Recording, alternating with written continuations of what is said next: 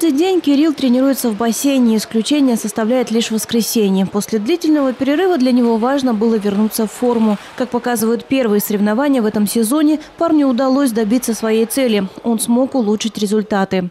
100 метров я проплыл за 1.04, э, 200 за 2 минуты 21 секунду, а 50 метров за 30 секунд 8 сотых. Нужно очень сильно стараться, вкладывать очень много сил. Это нелегко улучшить э, результат.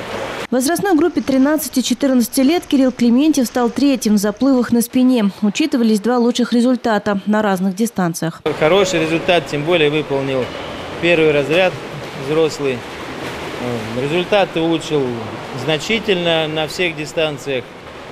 То есть результатами доволен. Первенство Новосибирской области – возможность для тренера посмотреть спортивную форму своего подопечного и то, как к сезону подготовились соперники. В этом году перед Кириллом стоит важная задача – отобраться на всероссийские соревнования. Для нас, по крайней мере, как э, проверка э, работы перед будущими, как я раньше говорил, это веселый дельфин всероссийскими соревнованиями.